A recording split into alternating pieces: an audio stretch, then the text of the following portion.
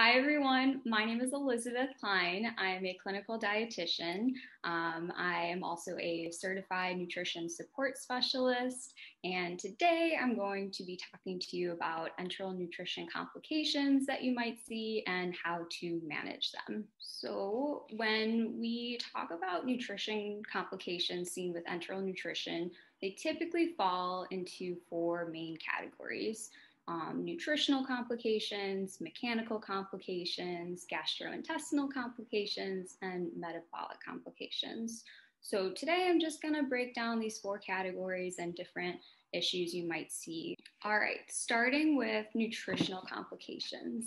These will include overfeeding and underfeeding. So, first, we'll start with overfeeding.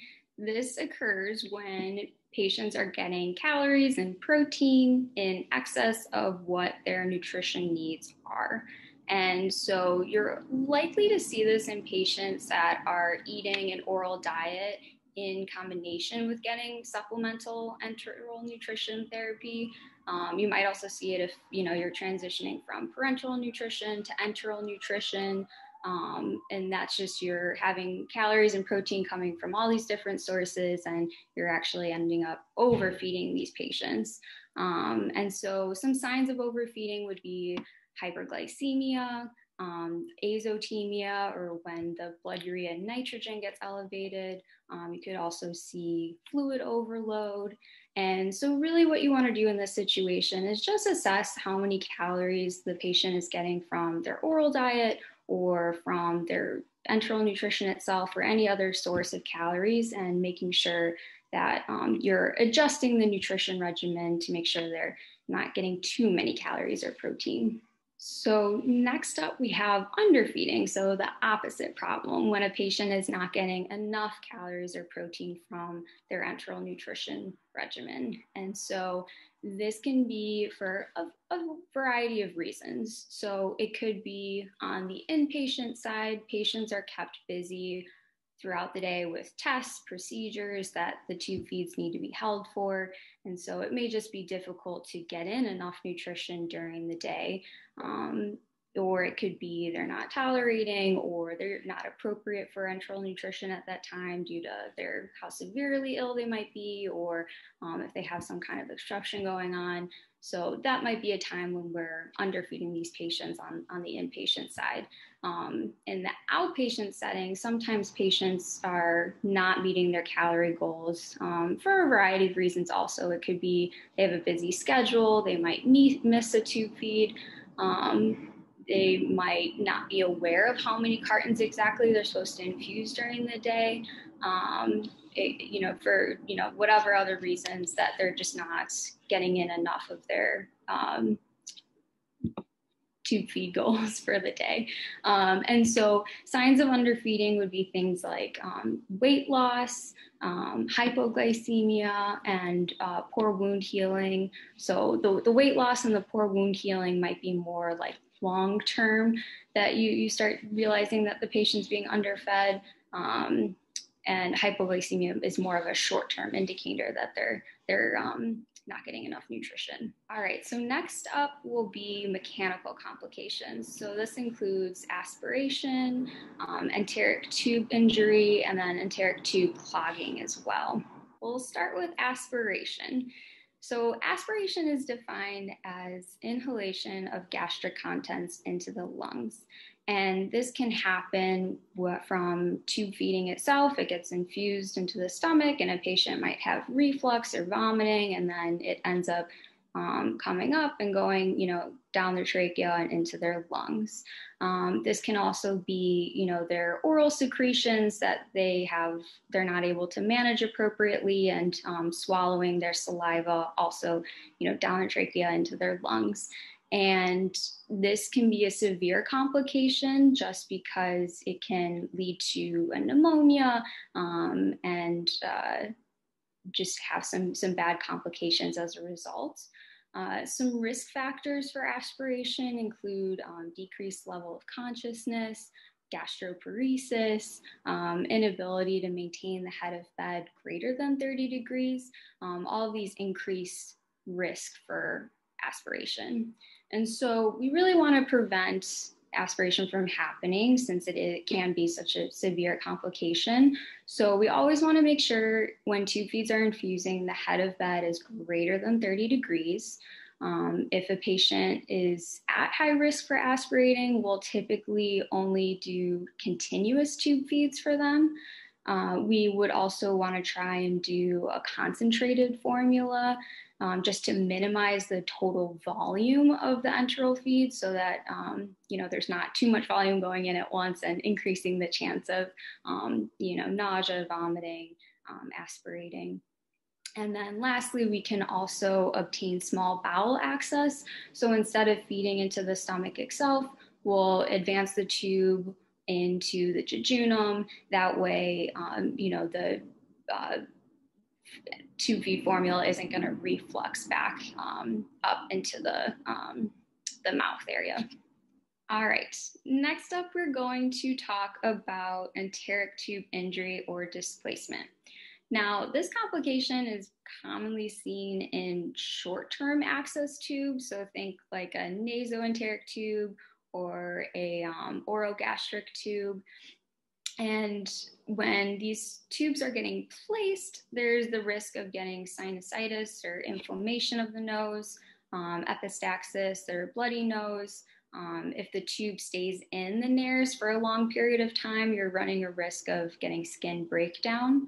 Um, things like inflammation of the nose and a bloody nose, those are just kind of short term and will resolve with minimal intervention. Um, but the skin breakdown you worry about when a, a, nasal tube is in for longer than four to six weeks. Um, displacement can also happen. Um, so typically when you're placing a feeding tube, you'll um, you'll the provider will place the tube and you know take an x-ray to make sure it's going where it needs to be whether it's in the stomach or in the jejunum. And then they'll mark on the tube itself how far in the tube is. And there's either like a mark on the tube or like it'll be noted what centimeter the tube is placed into just so we can make sure that the tube is still at where it's supposed to be and so, frequently in the hospital, um, sometimes patients will pull out the tube. Um, oftentimes, it's accidental just due to repositioning, or you know, they're sleeping at night and they accidentally catch it on something. Sometimes patients come in and they, you know, have altered mental status.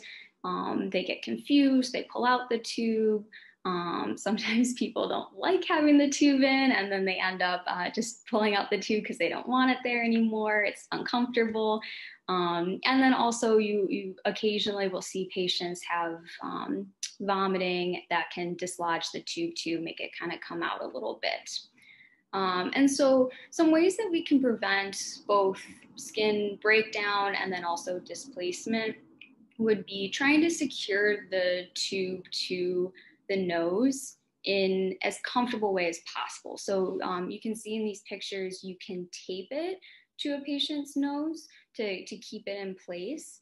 You can also do what's called bridling the tube.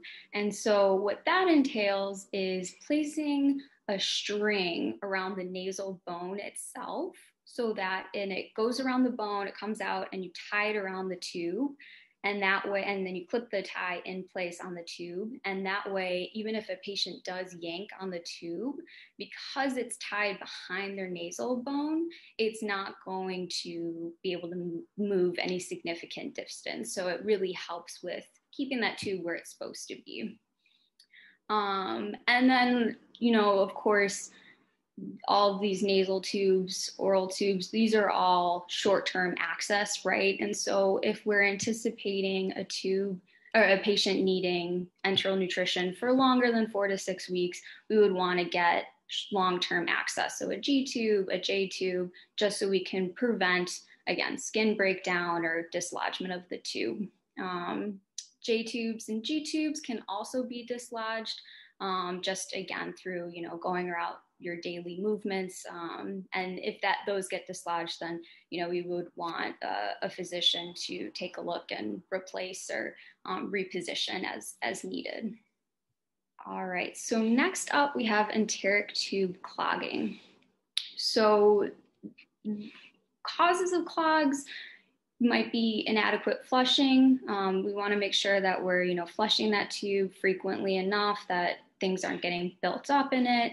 Um, it could be medications. A lot of times, patients with a, feeding tube will need to crush their medications. So sometimes they aren't, you know, crushed well enough, or they're super sticky. They're getting clogged in the tube, or you're not flushing adequately before or after the medication.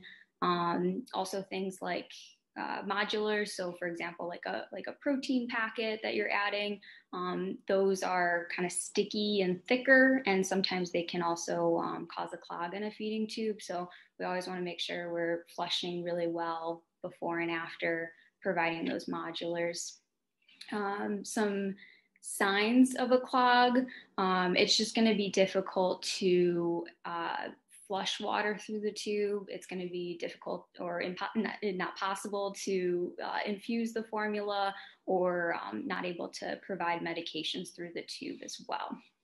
And so, what we can do in this situation is use uh, take a syringe full of just lukewarm water nothing fancy and just um, infuse the, the water with the syringe and then kind of do like a back and forth motion with the syringe kind of irritating the um, the water within the tube itself to try and dislodge that clog and so do that for a little bit and then um, clamp the tube for about five to 10 minutes, let it settle. Um, and then after you unclamp, you can, you know, do that forward backward motion again, and then see if you can, you know, adequately aspirate the, the water out of the tube and then, you know, do a, do a flush through the tube. Now, if that doesn't work, um, you can do the exact same procedure, but you can add a tablet of sodium bicarbonate and some pancreatic enzymes and make kind of like a little slurry and do that uh, same back and forth motion, but now with this mixture instead. Um, now, let's say you've, you've tried all of this, you're not getting anywhere, the tube is still not flushing.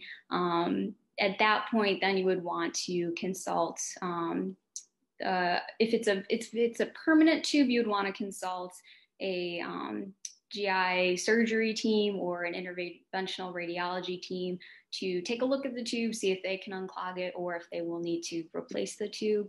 If it's one of those, you know, temporary tubes like a nasal gastric tube, um, then you will just take that tube out and, and replace it. Um, some tubes like J tubes or Dobhoff tubes those have a smaller bore and so they're more prone to clogs.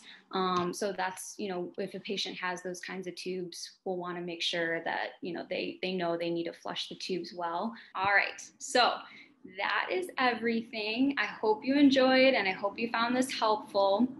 And um, thank you for watching and we'll see you next time.